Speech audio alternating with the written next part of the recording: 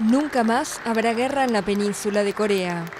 Así lo aseguró el jueves el presidente surcoreano Moon Jae-in, quien intentó poner paños fríos a la tensión entre Corea del Norte y del Sur. Una tensión que ha subido a un nivel máximo después de las amenazas de Pyongyang de atacar zonas cercanas a la isla de Guam, una base estadounidense en el Océano Pacífico.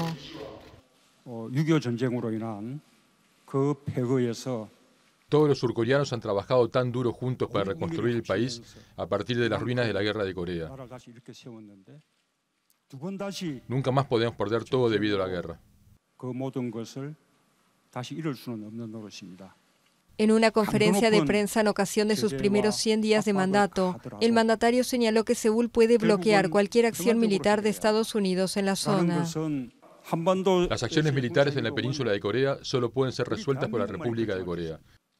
Absolutamente nadie puede tomar una decisión sobre acciones militares en la península coreana sin nuestra autorización.